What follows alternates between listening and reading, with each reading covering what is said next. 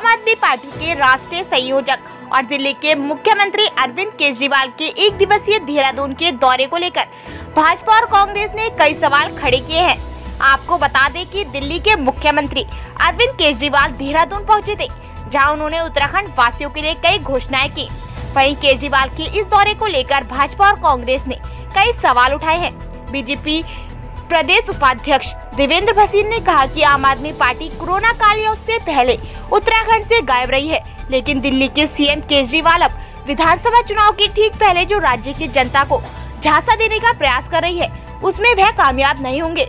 भसीन ने कहा कि दिल्ली मॉडल पूरी तरह से फेल हो चुका है। उनके नाम मोहल्ला क्लिनिक चल रहे हैं और ना ही शिक्षा की स्थिति ठीक है। भसीन ने कहा, कोरोना काल में अगर केंद्र सरकार मदद नहीं करती तो दिल्ली के हालात त्राहीमान की स्थिति में होते। वहीं कांग्रेस प्रदेश अध्यक्ष प्रीतम सिंह ने कहा, चुनाव नज़दीक होते ही राजनीतिक दल बड़ी बड़ी घोषणाएँ कर रहे हैं।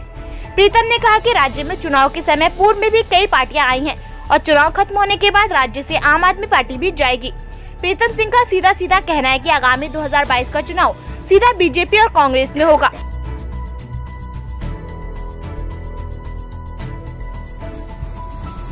कोरोना काल हो या उससे पहले, उत्तराखंड से पूरी तरह गायब रही।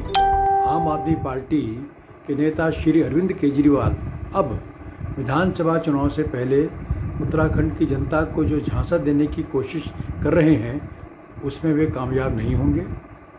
उनका दिल्ली मॉडल भी पूरी तरह फेल हो चुका है।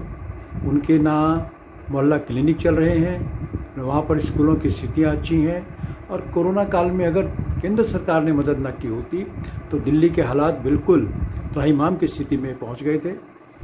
अभी तक उत्तराखंड में आम आदमी पार्टी ने कोई योगदान नहीं दिया और उत्तराखंडी जनता ने अब तक उनको पूरी तरह नकारा है। अब भी आम आदमी पार्टी के नेता दूसरे दलों से कुछ नेताओं के आने की प्रतीक्षा में हैं। ना अपना इनका कोई आधार है, ना कोई विज़न है। इसलिए उत्तराखंड की जनता के बीच उनके जो सिक्के हैं, जो चमड़े के सिक्के हैं, वो चलने वाले नहीं हैं।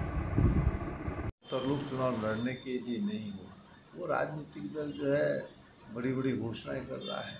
और मैं कहना चाहता हूँ, इस प्रदेश के अंदर जो है, आपने देखा होगा कि पूर्व में भी कई राजनीतिक दल उभरे और उसका जो है, वाद समाप्त हुए हैं। यही हर्ष आपका भी होगा। आए हैं, लेकिन चुनाव के बाद जो है, आप जो है, समाप्त हो जाए